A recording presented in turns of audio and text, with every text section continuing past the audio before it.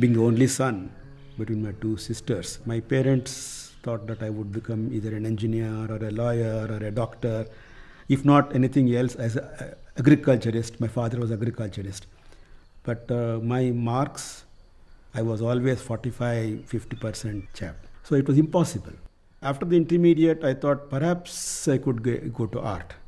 But then, you know, my parents were told that let him do BSc, physics, chemistry, mathematics. And I used to get a tuition for all the subjects, and that was a torture.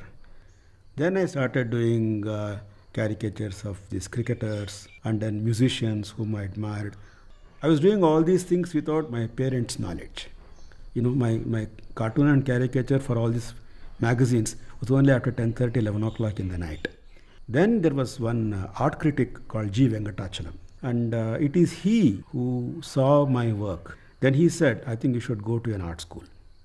And, uh, and there is KCS Paniker, is very wonderful teacher, and Madras is very close by. You must go to an art school. I said, Sir, how do I convince my parents? He said, I will talk to them. So my parents finally agreed because they knew I was not happy at all. Then I went to uh, Madras Art School in 1960. I was 18 and odd at that time. Then uh, I gave Paniker this letter, Venkatachalam's letter. He said, Good, but I won't take you in unless you pass the test. I said, Yes, sir. Test was something like drawing from the model, which I had never done. Somehow I managed, you know, I managed uh, that and I managed to going and doing landscape outside and I got a first rank and then I was admitted to the college. But one thing uh, my father felt, how are you going to make money from art? So initially my father said, look, I will give you some money every month for your basic necessities. But that was not sufficient. Really, it's not sufficient because I had to buy my colors, my canvas, my paper. It's all expensive. But in 1964, I applied for the National Scholarship, Government of India Cultural uh, Culture Department Scholarship, and uh, I got that scholarship that year, which was 250 rupees a month at that time. That was really a good sum. And so I told my father, please don't send any money anymore. I can manage. And uh, I didn't touch my father's pie after that. And 1967, I got the national award for my painting of Lalit Kala Academy. And uh, so that really made uh, my mother feel great. She's that you know that that something you know uh, her son has achieved. I mean that feeling you know I could see that sort of a happiness in them, and uh, so no going back after that. 1965, uh, in the College of Art when we were studying, and Paniker asked some of us what we would do after finishing the diploma. We didn't know what to answer, you know, I mean, how to answer that question. Then um, he said, Look, some of my very good students, they have gone to commercial industry and they have lost themselves. And, uh, you know, I feel very bad about it. I know how difficult it is for an artist to survive. There was an American artist who had come to visit our college and he was wearing a shirt which was designed by him. The first time we saw an artist design his own shirt, that's how we started doing batik. We were about uh, 25, 30 of us. We started learning batik and did the batik. And in one year we had produced enough, like saris, dress materials, and wall hangings, and so many things. We had an exhibition, and it was a sellout in Chennai. That gave us the idea that we need a place, and it's possible for us to, even if one sp- spent about an hour or two a day, we could make enough money for our basic livelihood. So we formed a cooperative, Artists Handicrafts Association, we called it, and bought 10 acres of land in different stages and named it Cholamandal Artist Village.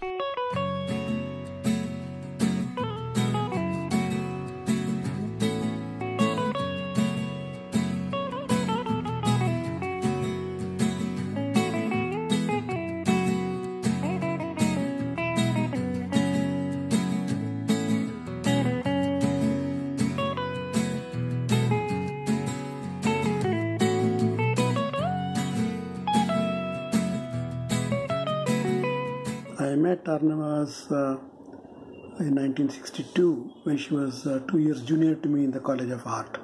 where I studied in Chennai. And uh, we became good friends and we got married in 1971 and uh, she moved to Cholamandal Artist Village. We built a house in Cholamandal in uh, 1971 and um, uh, she was very much responsible to get it designed and build it. Then we lived together very happily. She was working on her own, and I was working on my own, and we used to travel a lot. In 1981, we had our son born, and um, we lived together very happily till 1988 when Arnawaz died of cancer.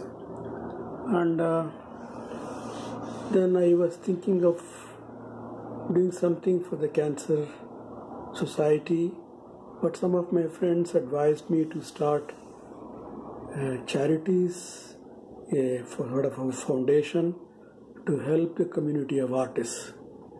So I requested some of my friends like Girish Karnad, Shanta Guhan to join me to start this what I called Arnawaz Vasudev Charities in 1989 and the charities has been doing a lot of good work and it has been helping a lot of young artists financially over the years and nearly 200 artists have so far benefited from these charities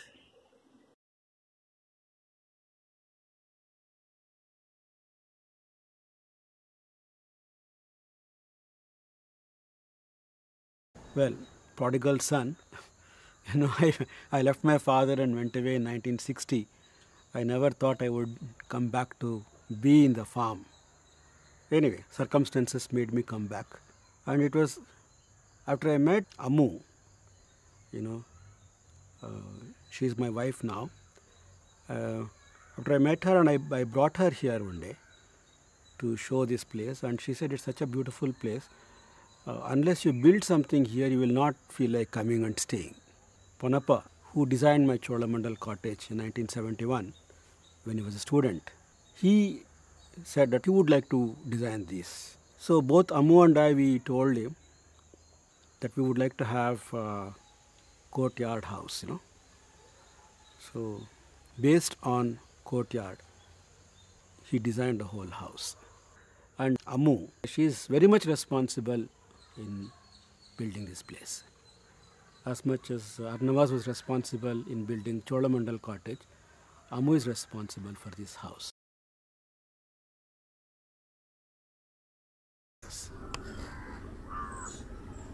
I was always interested in uh, other crafts, uh, you know, because in the School of Arts and Crafts where I studied, it was a very good craft section.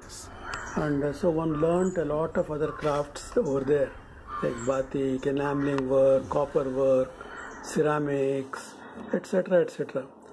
Then, you know, I felt the need to apply myself to other mediums other than my drawing or painting. So then uh, I got a very good uh, metal worker uh, to come and teach me at the College of Arts uh, where he was working and then he came to Cholamandal and start, taught me. And then I started working in copper. Of course I take the help of uh, people like my carpenters and others. And uh, then this also led me to other uh, crafts like uh, uh, with a weaver. I have been working with a weaver for the last uh, 20 to 22 years creating tapestries in silk and you know I have done wood inlay work and I have done ceramic work. So it's very interesting for me to carry on doing all these extending oneself to different crafts